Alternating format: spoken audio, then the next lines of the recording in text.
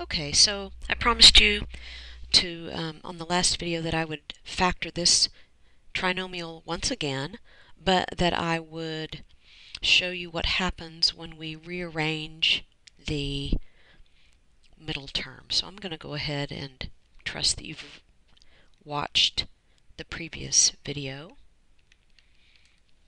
of the same name. And this time I'm going to put plus 3x here and a minus 10x here. Alright, so now at this point, this is a four-term trinomial, excuse me, a four-term polynomial. That's an oxymoron.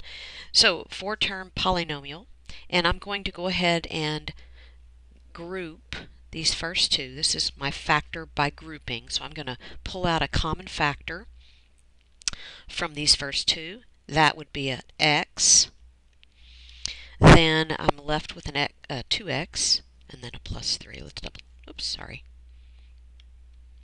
Again, I've got to get used to this pen. So there's that. Now let me double check that that works. Does x times 2x give me 2x squared? Yes. Does x times 3 give me 3x? Okay, I'm good to go. So now, let's group these. Now notice I'm using circles and not parentheses. If I put a blue parentheses where I put that blue circle, all of a sudden I would have to change that sign, right? Because of the distributive property. So please do not use parentheses, use circles. Okay? All right, so let's go ahead and do this. I'm going to copy this subtraction sign.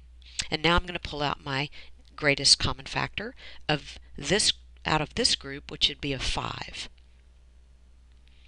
So now I'm going to have a 2x, and then I'm just going to copy, and that's going to be a minus 5, right? Excuse me, that's going to be a minus 3. Huh. All right, now let's double check that that really works, right? Does negative 5 times positive 2x give me a negative 10x? Absolutely. Does negative 5 times negative 3 does that give me a negative 15? Absolutely not. So what I see, is, the issue is when I'm actually working with a minus here, okay, I'm going to, and depending on the sign here, I'm going to have to adjust this one here. I'm going to have to adjust, that's going to be a positive. Now let's double check one more time. Let's double check again. Does negative 5 times 2x, does that give me the ne uh, negative 10x? Absolutely. Does negative 5 times positive 3 give me the negative 15? Now I can say yes, it does. Now, interestingly enough, not interestingly enough, this is mandatory. When I look at my two green terms now, I have to see a common factor. This right here has to be the same. So that was my other clue that this sign here and here had to match. They have to match. Okay, that was my other clue. I had to make an adjustment. Okay, so let's do this now. Let's finish it up.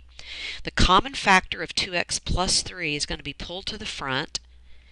And what is remaining is the binomial kind of like bicycle, two terms, x minus 5. So there it is. There's the answer. This is my answer, and I can check it by foiling it. I won't take the time to do that. I'll let you have just a really short video this time. Okie doke, thanks for watching.